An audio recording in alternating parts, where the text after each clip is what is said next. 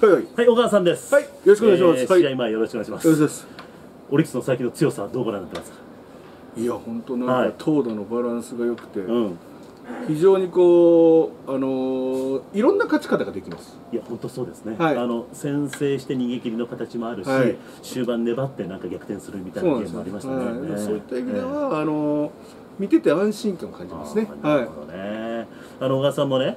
それこそ95年とかはい。96年の優勝合計経験じゃないですか、はいはい。あの時のチームのムードってやっぱりなんとなく試合やってても負けないかなっていうのありましたもんね。そうですね。ねやっぱりこう先行されても、はい。やっぱり追いつける、うん。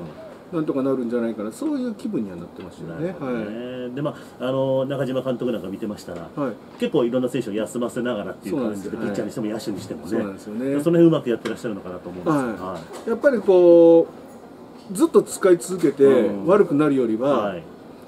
1日2日休めてうん。フレッシュな状態でやった方が、うん。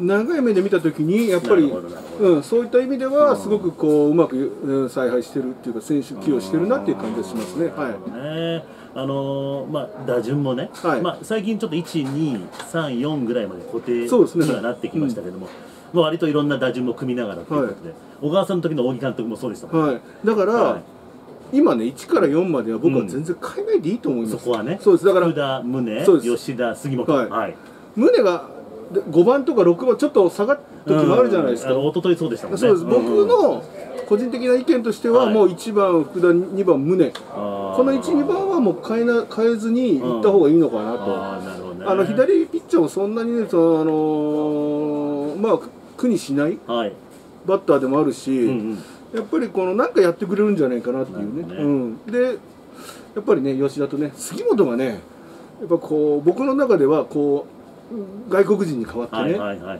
もう素晴らしい成長してるじゃないですか、だから彼がねこれからね4番外れずに、うん。最後までうん。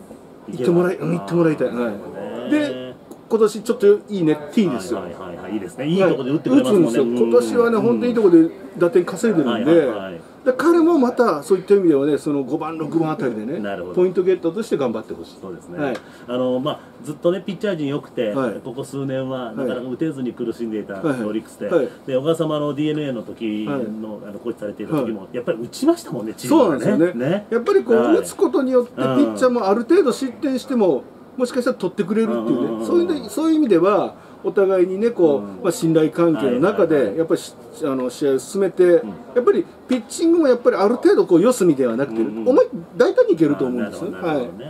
そういうのありますよね、はい。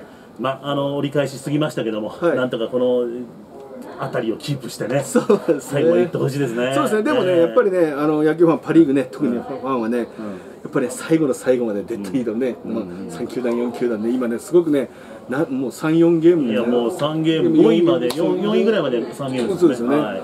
まあそういった意味で最後までね、あのそうやって熱戦繰り広げて、最後にね、オリックスがピッて出たら、行きたいですね今年は。はい行きたいですよ今日はチャンスですよね。はい。